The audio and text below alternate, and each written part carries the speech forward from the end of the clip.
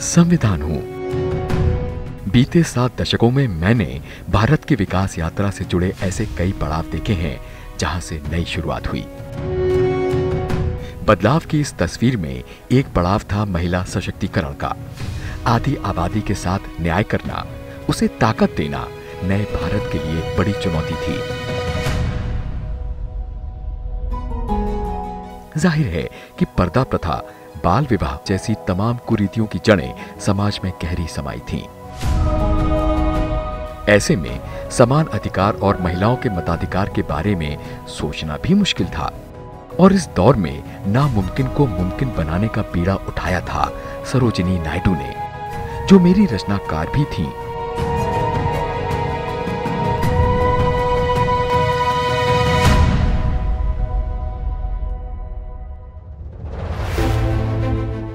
राष्ट्रीय महिला दिवस हर साल मनाया जाता है।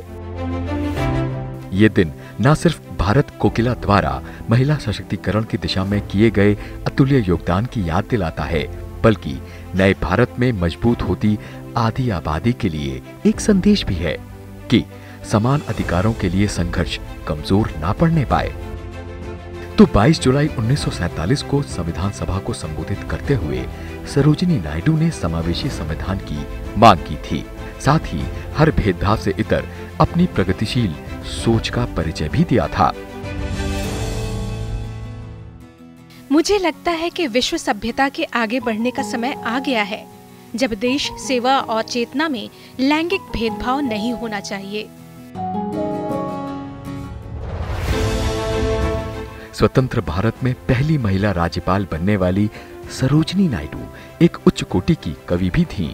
इन्होंने वीर रस के गीतों के ज़रिए देश के जनमानस को आज़ादी की लड़ाई में भाग लेने के लिए प्रेरित किया था। और जब भारत आज़ाद हुआ तो संविधान सभा के सभी सदस्यों को राष्ट्रीय ध्वज के तले खड़े होने को प्रेरित किया। राष्ट्रीय ध्वज के संबंध में 22 जुलाई 1947 को संविधान सभा में सरोजिनी नायडू ने कहा था। जब बयालीस देशों ने बर्लिन में एक अंतर्राष्ट्रीय सम्मेलन में महिलाओं को भेजा और एक ध्वज परेड शुरू होनी थी, भारत का कोई आधिकारिक झंडा नहीं था। यह मेरे लिए पीड़ा का क्षण था।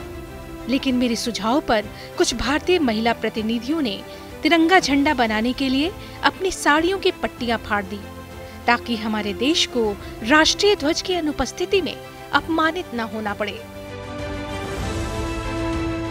आज़ादी की लड़ाई और उसके बाद की विकास यात्रा में सरोजिनी नायडू ने समाज, राजनीति और साहित्य जगत में बदलाव के कई ऐसे ब्लूप्रिंट पेश किए, जो आज भारत की राह रोशन करते हैं।